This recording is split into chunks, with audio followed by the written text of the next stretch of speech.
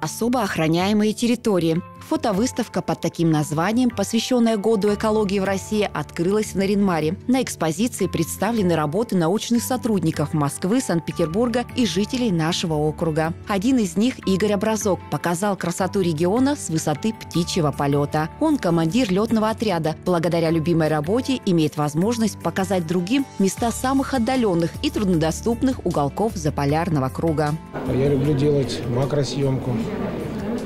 То есть, когда маленькие цветочки, например, когда расцветет брусника, когда цветет голубика, и фотографируешь на макросъемку, и цветок на фотографии размером с арбуз, и его детально рассмотреть, он очень удивительный.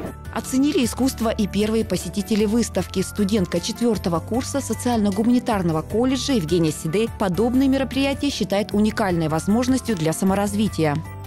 Я очень люблю такие выставки, потому что это позволяет э, потому что я люблю свой округ, и это позволяет узнать те места, где я еще не была. Всего для участия в фотовыставке особо охраняемой территории с жителями округа были представлены более 200 фотографий. Фотовыставка открыта для всех желающих в холле Дворца культуры «Арктика» до 15 марта. Сборная НАУ сыграет в главной нетелевизионной лиге КВН. Такая возможность появилась у заполярных КВНщиков по итогам фестиваля, который прошел в Москве. Команда из НАУ впервые выступала на главной сцене Дома КВН в Московском молодежном центре «Планета КВН» и снискала не только высокие оценки жюри, приз главного спонсора игр, но и путевку в Лигу «Лампа». «Лампа» – это центральная лига Москвы и Подмосковья, вершина всего столичного движения нетелевизионного КВН, руководителем которой является Александр Масляков Масляков-младший. Сейчас, по словам капитана команды Надежды Пальневой, у ребят сборной НАУ жаркий период. Уже в марте этого года самые веселые и находчивые команды со всей страны, получившие повышенный рейтинг или прошедшие во второй тур на фестивале «Кивин-2017», будут зажигать юмором в лампе на главной КВНовской площадке в Доме КВН.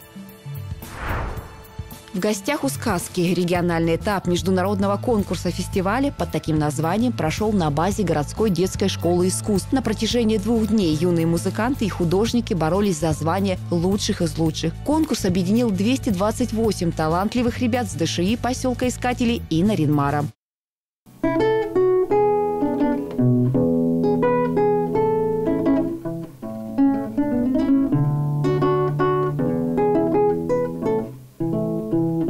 Всего в этом году в конкурсе участвовало 228 детей, воспитанники детских школ искусств города и поселка Искателей. Детки у нас очень талантливые. Если кто-то побывал на этом конкурсе, даже вот родители не смотрят на своих детей уже другими глазами. Дети раскрываются. Те, кто первый раз приняли участие, они прямо на сцену вроде выходят испуганные, но когда сыграют, поняли, у них столько радости, вот глаза сияют у них радостью. Это очень, в общем-то, хорошо, что дети не только в простой школе учатся общеобразовательно, получают дополнительное образование. Все-таки это развивает детей. По словам Нины Ульяновской, с каждым годом программа, которую дети исполняют, становится все интереснее, а мастерство детей лучше. В России началась Масленичная неделя. Традиции этого праздника уходят вглубь истории. Сначала он был языческим, несущим в себе три составляющие. Чествование прихода весны в надежде на плодородный год, знакомство молодых для создания семьи и дань уважения к предкам. С принятием на Руси христианства появились новые церковные праздники, но широкая Масленица продолжает жить и по сей день. На каждый день Масленичной недели существовали определенные обряды. В понедельник – встреча Масленицы, во вторник – за заигрыши. На лакомке, то есть в среду масленичной недели, тещи приглашали на блины зятьев с женами. В широкий четверг происходили самые людные санные катания. В пятницу тещи на вечерке. Зятья звали тещу на угощение. Суббота отводилась заловкиными посиделками. Воскресенье называлось прощенным воскресеньем или прощенным днем. В этот день все навещали родственников, друзей и знакомых, обменивались поцелуями, поклонами и просили прощения друг у друга, если обидели словом или поступком уступками. В последний день масленичной недели обязательно проводился ритуал с сожжением чучела. Сейчас, как и раньше, масленица в селах и городах отмечается массовыми гуляниями. Шумно, весело и с главным блюдом праздника – блинами. По традиции народное гуляние пройдет и на главной площади Наринмара, где гостей масленицы будут ждать спортивные состязания, конкурсы, веселые аттракционы, катание на лошадях и праздничная ярмарка. Самые смелые и отважные смогут продемонстрировать свою удаль в покорении масленичного столба, а самые быстрые и креативные примут участие в конкурсе по изготовлению санных устройств «Веселые сани-2017». Начало праздника в 12 часов 26 февраля. В Наринмаре прошла акция «Говорим по-ненецки». Это нунги, а звезды нунги котя.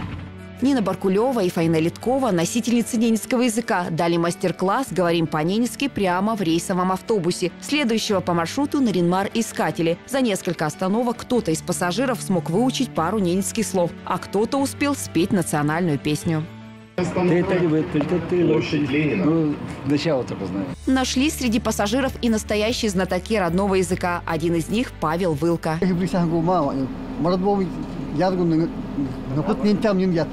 Не-не, Интех- мангали я тасты Хамда, маркуны хамда. ядрпана. ага. Тел минго обедал. А что вы сейчас сказали?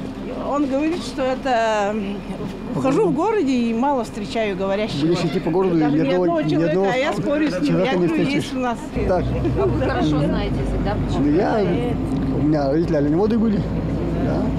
Мы в детстве в эту, там в тундре выросли мы. Чтобы таких, говорящих на своем родном языке, как Павел Вылка, было больше, и есть главная цель сегодняшней акции – «Говорим по-ненецки». Сегодня, когда у нас э, на ненецком языке говорит только старшее поколение, мы бы хотели привлечь внимание всей общественности, в первую очередь молодежи, детей, Действительно, и это большая проблема. Сейчас, по словам организаторов акции, нужно объединить свои усилия в сохранении исчезающего ненецкого языка, который занесен в Красную книгу ЮНЕСКО и Красную книгу языков народов России. Ведь Международный день родного языка – это не только когда вспоминать свой родной язык, но и проявлять солидарность, взаимопонимание, терпимость к тем народам, которые живут рядом с нами. А каждому народу должен был, у каждого народа должен был свой э, народный язык. Даже, э, если запрещать какой-то язык, это унижение другого, оскорбление другого народа. На каком-то языке, где родился, там и пригодился, как говорится. У нас вся Россия, сколько у нас языков, э, и нигде не, как, не уничтожил Советский Союз ни один народ, который населял. Хоть остались и единицы, но все равно он народ. И поддерживает свою культуру и свой язык.